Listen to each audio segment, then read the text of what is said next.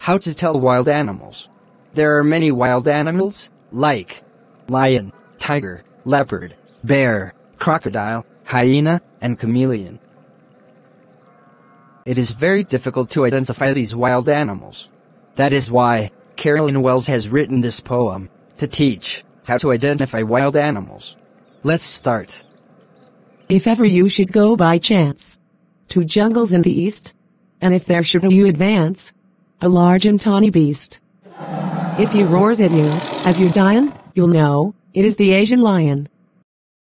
In this stanza, the poet has given the idea to identify the Asian lion. If you see a large and tawny beast, tawny? Tawny means of yellowish brown color. So if you see a large and tawny beast, and if he roars so strong that you can digest by hearing his roar, be sure that it is the Asian lion. Or if sometime when roaming round, a noble wild beast greets you.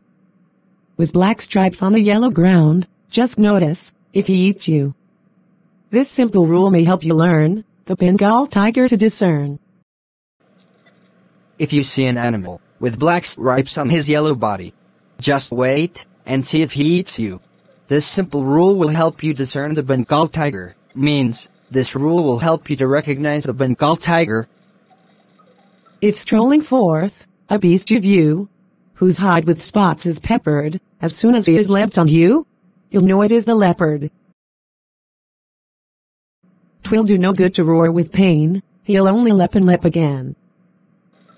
If you see an animal whose hide is peppered with spots, hide, skin of animal, as soon as he has leapt on you, you will know it is a leopard. But what does leapt mean? Actually, the correct spelling is L E A P T and not L E P T. And it means the leopard jumps on you. But the poet has used the wrong spelling. Even if you cry with pain, it will not stop jumping on you. It will only lep and lep again. Lep? Here also, it is the wrong spelling. The right one is L E A P leap. Why has the poet written leapt and lep instead of leapt and leap? She has used the wrong spelling just to make these words rhyme with peppered. Peppered has pep sound. Therefore, leapt and lep instead of leapt and leap.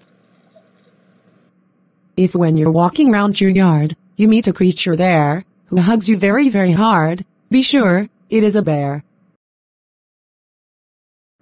If you have any doubts, I guess, he'll give you just one more caress.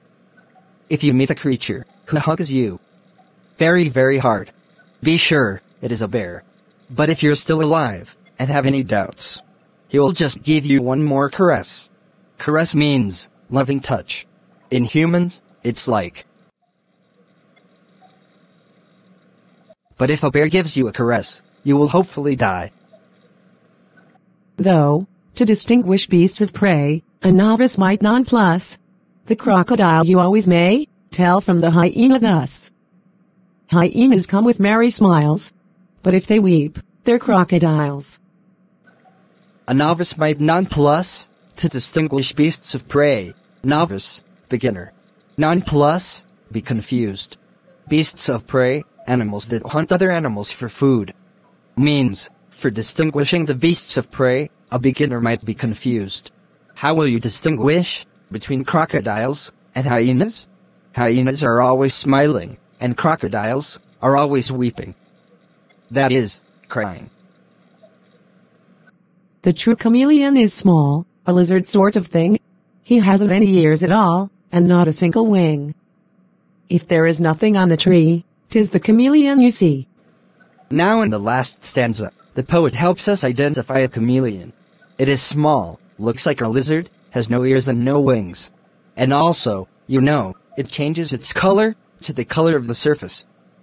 So, you will not be able to see it on a tree.